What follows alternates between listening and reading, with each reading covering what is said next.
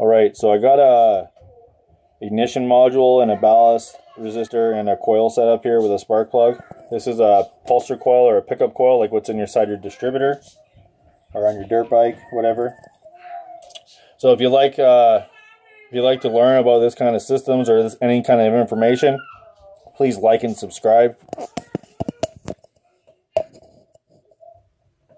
So I'll turn the light off. I'll turn the system on here.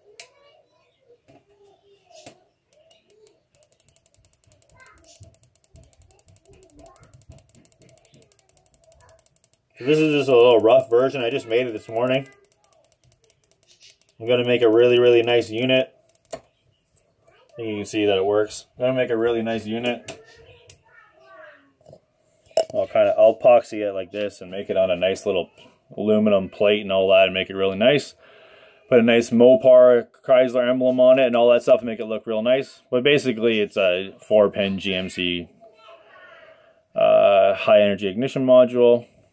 So if you'd like to learn how this stuff works or anything to do with that kind of stuff and have it explained super duper simply easy with schematics and all that, holler at your boy Big Dan Dan Craney. Like and subscribe. Share this around until next time. And if you don't, there won't be a next time. Cheers. Holler at your boy.